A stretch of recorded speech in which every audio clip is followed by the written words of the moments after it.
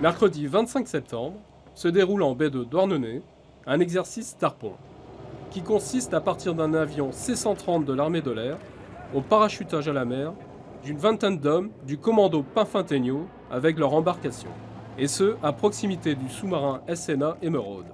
Dès l'arrivée sur l'eau, les embarcations sont conditionnées pour rejoindre le plus rapidement possible le SNA Emeraude.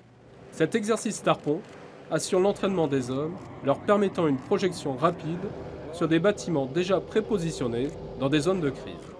Réalisé dans de bonnes conditions météo, mer belle et vent nul, l'entraînement au saut Tarpon a mis en avant l'interopérabilité des forces maritimes et aériennes.